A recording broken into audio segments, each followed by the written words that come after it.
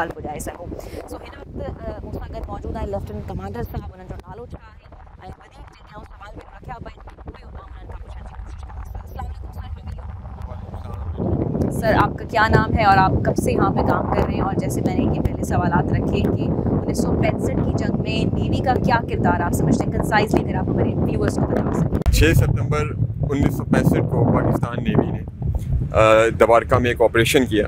जिसको ऑपरेशन दवारका के नाम से जाना जाता है। इस ऑपरेशन का बेसिक मकसद दुश्मन की रडार इंस्टॉलेशंस को तबाह करना था। जिन रडार इंस्टॉलेशंस की वजह से जो हमारे पाकिस्तान एयरफोर्स के प्लेन्स थे, वो डिटेक्ट हो जाते थे।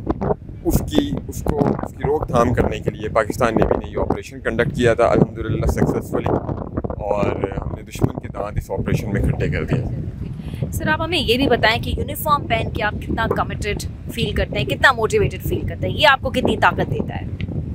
आ, जी बिल्कुल डेफिनेटली जो भी आ, आ, पाकिस्तान में जो उसके शहरी हैं पाकिस्तान से डेफिनेटली लगाव मोहब्बत सबको है। लेकिन ये यूनिफॉर्म पहन के ये लगाव ये मोहब्बत ये डबल हो जाती है। और ये मैनीफोल्ड इंक्रीज़ हो जाती है। क्योंकि हमें पता है कि हम हर वक्त सरहदों की, अपने सीज़ की हिफाजत के लिए हर वक्त तैयार है।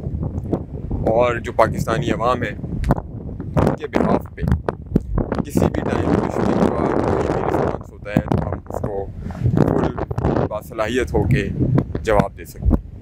Sir young officer there is no doubt in that थोड़ा सा मरीन पोल्यूशन पे भी अगर हम बात कर लें तो उस पर बड़ी कम तवज्जो दी जाती है और कम बात उस पर की जाती है, वो कम हाईलाइट होता है। तो वाई इज़ दैट सो और अगर आप उसके मुतालिक कुछ कहना चाहते कमेंट्स देना चाहते तो प्लीज़ जी पोल्यूशन का तो ओवरऑल बिल्कुल आप सही कह रही हैं पोल्यूशन का बहुत बड़ा मसला है।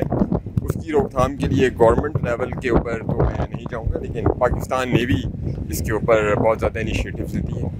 वी मेक श्योर कि हम अपना जितना भी गार्बेज है, जितना भी सीवेज है उसको हम हार्बर में डिस्पोज नहीं करते। उसका एक चैनल है, वो अडॉप्ट करते हुए हम उसको डिस्पोज करते हैं। उसके अलावा रूटीन मैटर में जो शिप का स्टाफ है, जो पाकिस्तान नेवी के अपने लोग हैं, जो वो भी इंश्योर करते हैं कि शिप के आसपास जितना भी हमसे हो सकता है, वो हम उसको पोल्यूशन को क्लियर करने की कोशिश करते हैं। आप पैगाम क्या देना चाह रहे हैं? क्योंकि छः सितंबर तो अब गुजर चुका है, लेकिन what message would you like to give our viewers या ओवरऑल आपको इस वक्त तमाम पाकिस्तानी देख रहे हैं? जी मैसेज मेरा यही है कि जो मुल्क है पाकिस्तान हमारा, ये बड़ी मेहनत से और अंत तक कोशिशों के बाद हमें मिला है। इस मुल्क का ख्याल रखना एक बच्चे से लेके एक बुज़ुर्ग तक सबकी ज़िम्मेदारी है। ये यूनिफॉर्म पहन के इस चीज़ को इंश्योर करते हैं, इसको कोशिश करते हैं, अपनी छोटी सी कोशिश करते हैं कि इस मुल्क को जितना इसने हमें दिया है, उसको हम रिटर्न बैक कर सकें उसे थ्री टाइम्स मल्टीप्लाई करके।